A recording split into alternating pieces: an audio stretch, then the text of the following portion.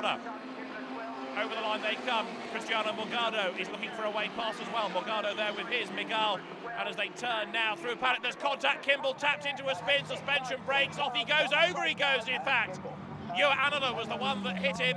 Ian Parsons has gone off as well, number four. He's beached in the gravel, but Charlie Kimball, a pretty horrifying roll then. He's upside down. Good strong cast for the forwards. There is Juho Annala, who, having played his party piece in